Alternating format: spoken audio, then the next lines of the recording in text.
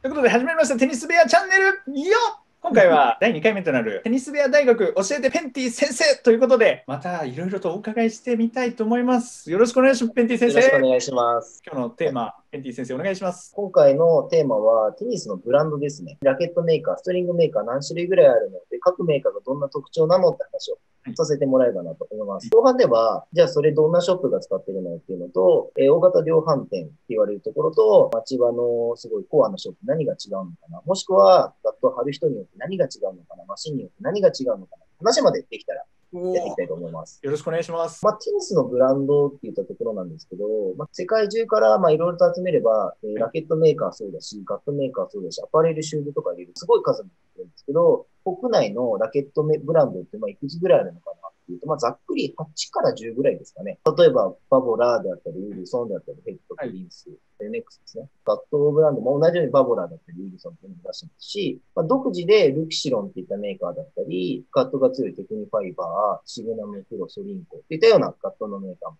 ね。そこら辺ってショップに行ったら大体見る感じの名前あ、そうですね。もう皆さんが大体何かしら手に取ったことがあるブランドだと思うんで、じゃあその各ブランド、まあどういった違いがあるのかなっていうのをまあ軽く触れていきたいはい。で、一般的に日本の方がよく手に取るブランドトップ3っていうのは、バボラとウィルソンとヨネックスですかね。海外だとヘッドが2番とかになってるんですけど、で、そのバボラっていうのはどういうメーカーかっていうと、まあフランスに拠点を置くメーカーですね。今だったらナダルとか、結構有名なプロは使ってるのかなっていうのがバボラのブランドになります。マシーさんもバボラ使ってますよね。あ、これバボラなんですね。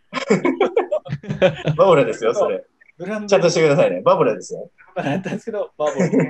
高校生の時ずっとミクロスーパーを使ってたので、あはい。れ、ゴーセンですよね。あれ、ゴーセンですね。ガットのメーカーですね。一応ラケットもあるんですけど、まあ、ほとんどシェアがないんで、ガットのブランドになって ウィルソンさんというのが、まあ、今一応日本で一番売れてるメーカーなんですかね。今、西堀圭選手だったり、フェデラー選手だったり、まあ、女子プロも結構有名な選手が使ってるんで、まあテニスプレイヤーであれば、まあ、何かしら聞いたことがあるブランドそうですね。私もミーハーなんで、基本的にはもう錦織圭選手が使ってるセットでやってます。なので、ウィルソンだったり、ガットは前は 4G 使ってたり、4G ああ、そうなんですね。はい。ちなみに今、西堀選手何使ってるかわかりますか、ガット。全くわからないです。で、そのウィルソンっていうのは、ストリングっていうのも一応出してるんですけど、提携をしていて、ルキシロンっていう会社ですごい仲が良くて、傘下にあるんですかね、確か。はい。あなん 4G ルキシロンですよね。あ、そうです、そうです。そうですね。4G もアルパーであったり。で、西堀選手が今使ってるのは、エレメントっていう楽器を使ってるんですけど、もうこれも全部ルキシロンが作ってます。トッププロのシェアも ATP、世界の男子の7割から8割ぐらいだったと思うんですけど、もうルキシロン使って、も圧倒的に強いブランドになってます。3番目ぐらいに人気なのが NX になってます。で、NX っていうのは基本的にメイドインジャパンを歌ってる日本製のブランドになってます。特に、え人気なところで言うと、こう赤色のやつですね。あとは最近出てるのが、イゾンって青色。っていうように、こう色で結構識別がはっきりしているメーカーになっているので、まあ日本の方だったら高校生を中心に使われている方が多い。プロだと大坂なおみが使ってますよね。あ、そうです。はい。困ったら今結構 E ゾーンっていう選択肢を取られる方が多くて、楽天とか Yahoo とかで E ゾーンの売り上げがすごいです。っていう感じになってます。国内のガットの上位3番ってどうなんですかね？ルキシロン、バボラ、高専なんですかねま結構そのガットっていうのは、あの、好みがはっきりしていて、ラケットの方は比較的いろんなブランドをまたぐ方が多いんですけど、テニスをすればするほどガットっていうのは好きなブランドっていうのが固定化されていて、例えばバボラっていうのは他のメーカーと比べるとコーティングがちょっと厚めになっていて、マイルドって言ったり、まあちょっと曇った打感っていうんですかね、滑りがいいとかっていう特徴を持ってたり、逆にルキシロンがプロから人気な理由なのっていうのは、そのコーティングがちょっと薄いんで、よりダイレクトな打感であったりとか、芯を食う打感っていうのが人気の秘密だったり、メーカーによって作り方とか、あの設計というのは微妙に異なってくる、まあそこがかなり好み変わって。例えば私、ちょっとパワーヒッター気味の、まず最初に試したらいいんじゃないのっていうブランドで言うとどうですか？逆に難しくなってくるんですけど、すいません。えーもう本当困ったら、まず自分のラケットのブランドのメーカーからガットが出てないかを確認してみて、その中からポリだったり、はい。ナイロンモノだったり、ナイロンマルチ、もしくはナチュラルっていったところから選択していって、まず好きな材質を見つけてあげるっていったところから始まるのがベストかなと思って、まあ、必ずしもいきなり種類から飛ばないで、まあ、そこはオーソドックスにえー材質決めて、太さ決めて、テンション決めてやって、で、ある程度種類が決まったらいろんなブランドに浮気するというのがかなと思います。ラケットメーカーっていうのは自分のところガット出してたらそこに合うように作ってるってことですね。基本的には開発設計段階で自社のガットっていうのを使ってるはずなので、もしくはルキシロンとかそういう超人気メーカーのものをテストで一緒に使って確認とかっていうのはしてると思うんですけど、ただやっぱり自社ブランドのガットがあればそれを使って開発するメーカー、考え方だと思うんで、まあ自分のラケットメーカーと合わせてガットを選んであげると、まずはいいんじゃないかなと思います。ラケットと同じメーカーがあればそれ。なければ人気ナンバーワンのルキシロンをとりあえず使えばいいぐらいな感じですかね。そうですね。まあ、ルキシロン、バボラ、ヨネックスあたりから、なんか好みに合いそうなのを見つけてあげればいいと思います。で、今、話させていただいたブランドっていうのは、大型量販店、例えば国内で有名なとウィンザーさんとか、とかだったり、まあ、ヒマラヤスポーツさんだったり、あとはアルペングループのところとか基本的に今結構扱っていたりするんですけど、同じように地元のショップとかだったりっていうのも、主要メーカーってほとんど取り扱いがあると思います。まあ、なので、購入できるかどうかっていう意味では、ほとんど差はないと思います。はいただやっぱり差が出てくるのは、例えばガットの貼り方であったりとか、その人に合ったものを見つけてくれるかどうかっていうところがポイントになってくると思うんですけど、まあ、特にその貼り方ですね、差が出てくるのは。例えば結び目のところに差がストリンガーさんによっては、例えば縦糸を46ポンドっていう指定をしたときに、はいそのまま横も46ポンドで貼ってくれる方もいれば、微妙にフレームを変形させないように独自のテンション設定で変える人もいれば、結構様々なんですね。基本的には指定されるのが一番まあプレイヤーにとっていいのかなと思うし、そこでコントロールするのがベストかなとですけど、同じ縦46、横46でも貼る人によって使用感が微妙に変わってくるので、できるだけご自身が普段使われる行きやすいショップで貼る人を固定して、そこからテンションを固定してあげるといいのかなと思います。大型量販店さんの中にはなんか貼るのがとかって言われる意見を持ってる方も多いと思うんですけど、それは貼る人によってのばらつきの方が実は多いと思うので、まあ最低限例えば目が直ってな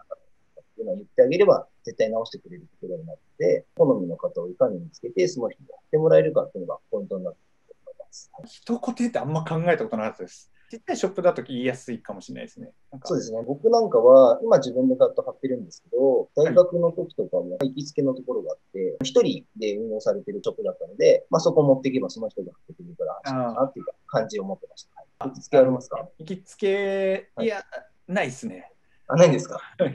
切れたらその近くにあるショップを探して行ったりしてます。ああ、そうなんですね。そしたら、はいばらつきがすごいですね。固定しようかなと思いました。必ず。ぜひしてください。じゃあ、ストリングマシンについてなんですけど、はいストリングマシンって結構見た目全然違ったりするんですけど、まあ、これ、ざっくり言っちゃうと、ヨネックスのだけはかなり特別なんですけど、はいまあ、それ以外のストリングマシンは中身ほとんど一緒なので、あまり気にしてなくて大丈夫だと。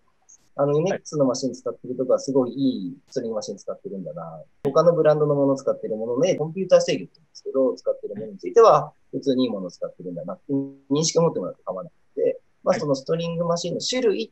ブランドっていう意味ではあまり気にしなくていいのかなと思います。ただ、例えばショップによっては、ストリングマシンの中に運動式っていうのと、スプリング式っていうのと、電動式コンピューター制御って4つの種類が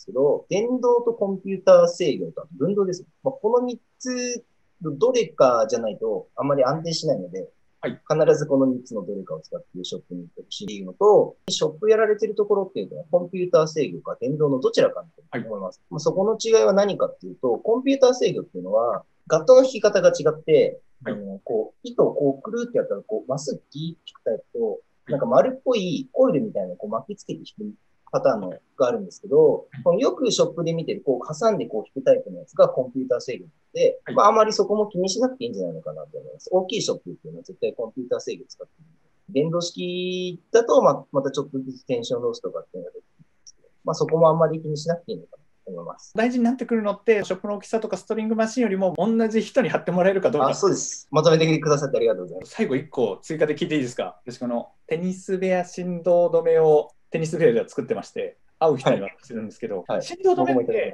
つける判断ってどういうふうに考えたらいいかなっていう。振動止めで大きな勘違いをされている方がいると思うんですけど、振動止め1個で絶対に T セールボー治りません。怪我の予防だとかってやられている方は、全く意味ないのでやめていただきたいなって肘の負担が減るって聞いたことある気がする。そんなんで、チニセルボ治ったら、ノーベル賞ものなんで。ただ、明らかに意味っていうのがあって、大嘘に分けて2つ意味があります。で、振動止めをつける、まあ、1個目のメリット、打球音っていうのを短くすることができます。つけないと、例えばバインとかコーンっていった長めの音になるんですけど、つけることによって、コンとかゴンって音になってくるので、あの、インパクトの瞬間が分かりやすいからつけるのが好きっていう方はつけてますし、別になくても、なんか響く音が好きだなっていう人は外せばいいかなっていうところの問題なので、まあ自分の好みの音に合わせて